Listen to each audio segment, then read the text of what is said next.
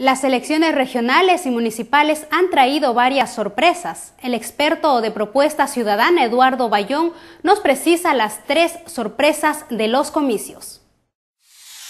De los 24 gobiernos regionales, entre 6 y 8 regiones habría segunda vuelta electoral.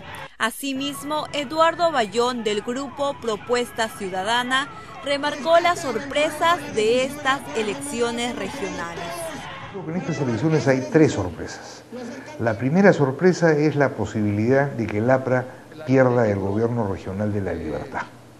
Entre otras novedades, en las elecciones regionales, Bayón se refirió a la participación del partido político Alianza para el Progreso. La segunda sorpresa es que Alianza para el Progreso, este partido, club o empresa que maneja el señor César Acuña desde la Universidad César Vallejo, termine con dos gobiernos regionales, el de Lambayeque, donde está su hermano, que va a ir a la segunda vuelta, y el de La Libertad, que eventualmente podrían ganar con Manuel Yempen en la primera vuelta.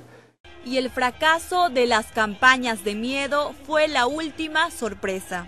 La tercera sorpresa es el triunfo en primera vuelta de algunos candidatos fuertemente satanizados, como radicales, antisistema, antiinversión en donde los dos casos más notorios creo que son el de Vladimiro Cerrón en Junín y el de Gregorio Santos en Cajamarca. Lo mismo podría decirse en el caso de Susana Villarán en Lima.